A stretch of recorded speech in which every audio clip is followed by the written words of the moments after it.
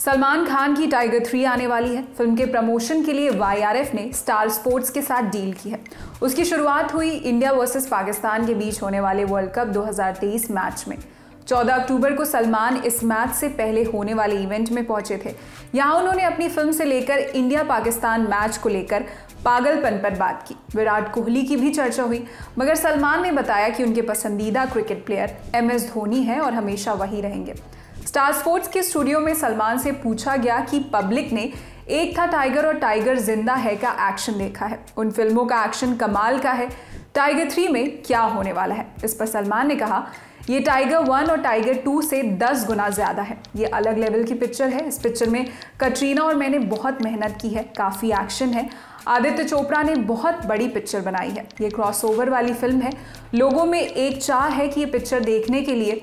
वो मैंने आज तक अपने पूरे करियर में कभी नहीं देखा। एक टीज़र रिलीज़ किया था। उस पर क्या रिएक्शन आया था? ट्रेलर आएगा 16 तारीख को। तो आपको समझ में आ जाएगा कि इस फ़िल्म का लेवल ही कुछ और है। सलमान ने इस इवेंट में ये भी बताया कि वो भी शुरू में क्रिकेट खेलते थे। एक बार उनका गेम देखने के लिए उनके पिता सलीम खान को भी बुला लिया गया था। सलमान को लगा कि मामला सीरियस हो रहा है, उन्हें क्रिकेट में करियर नहीं बनाना था। इसलिए वो उस मैच में पहले ही बॉल पर आउट हो गए। इस बातचीत के दौरान ज़िक्र छिड़ा विराट कोहली का।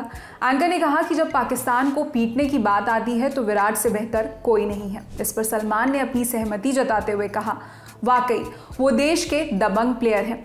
इंडिया पाकिस्तान मैच में खिलाड़ियों पर बनने वाले प्रेशर को लेकर बात हो रही थी, इस पर सलमान की सलाह थी।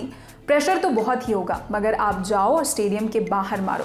फुल कॉन्फिडेंस के साथ खेलो। अहमदाबाद के नरेंद्र मोदी स्टेडियम में हो रहा ये मैच हाउसफुल हो चुका है। टिकटें सोल्ड आउट हो चुकी हैं। इस मैच के चक्कर में पूरे शहर में महँगाई बढ़ गई है।